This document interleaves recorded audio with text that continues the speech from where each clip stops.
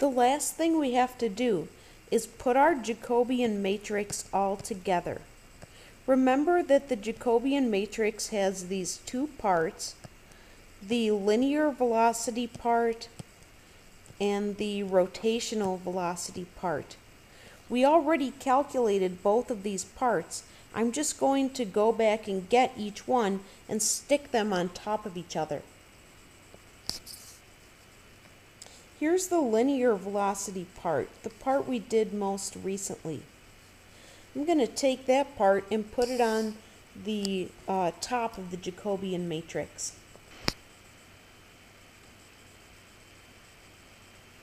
So here I've taken that top part and now I need to go back and get the bottom part. The rotational velocity part was quite a bit simpler than the linear velocity part, I'm going to take this matrix and put it on the bottom of my complete Jacobian. And now here we have the complete Jacobian matrix. We can see that this matrix has the correct dimensions.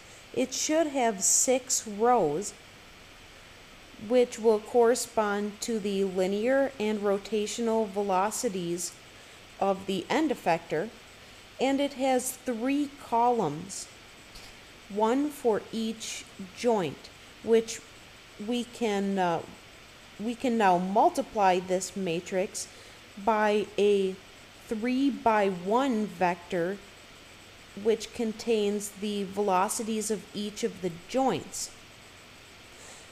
We're going to use this in class to uh, practice figuring out the velocity of the end effector given the velocity of the joints.